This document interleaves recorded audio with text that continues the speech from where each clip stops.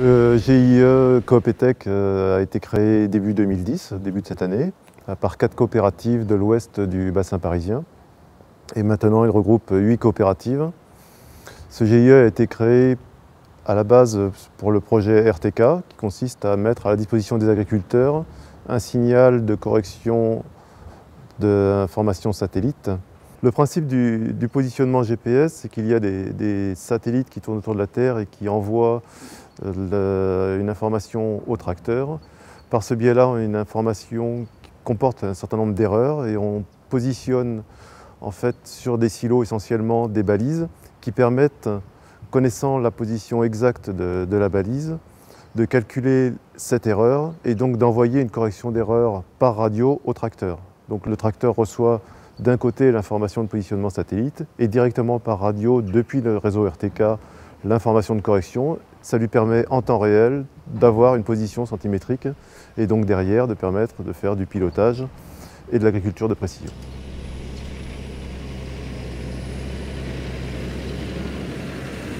Aujourd'hui, on utilise euh, le système RTK sur toutes les parcelles de l'exploitation, donc euh, sur tous les légumes, les céréales, euh, le maïs, on sème avec, on traite avec le RTK, on prépare les champs. L'agriculteur n'a plus à toucher son volant, il peut se retourner, il peut contrôler les outils qui sont dans le champ sans que cela ait d'impact sur sa trajectoire.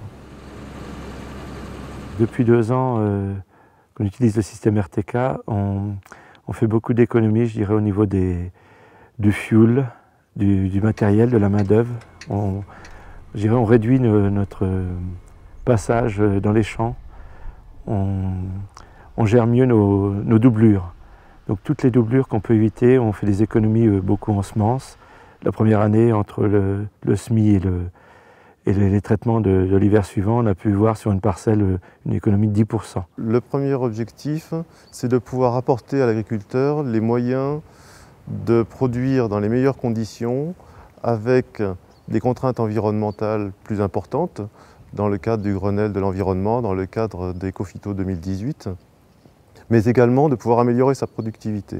Je pense que demain, on va pouvoir se servir du, système RTK pour tout ce qui va être euh, des nouveaux désherbages mécaniques euh, avec le Grenelle de l'environnement. On va pouvoir euh, moduler les doses euh, d'azote en fonction de ce que nous indiquera le, satellite FarmStar.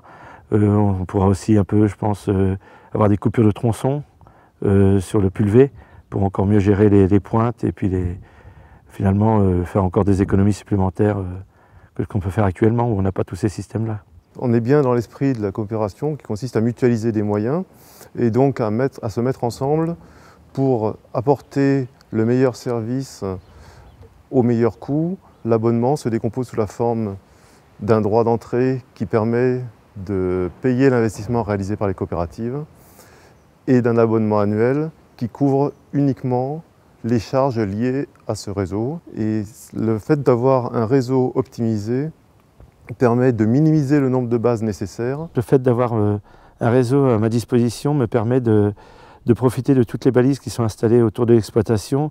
Euh, moi, je ne me soucie pas de ça. Moi, je vais dans mon champ et je peux faire le, travail que j'ai besoin euh, dans le champ sans, être obligé de réinstaller une nouvelle balise à proximité de mon tracteur. Donc ça me permet d'aller travailler à 10, à 15, à 20 km sans me soucier de, de savoir si je vais pouvoir capter quelque chose de mon tracteur. Voilà je suis plus tranquille aujourd'hui.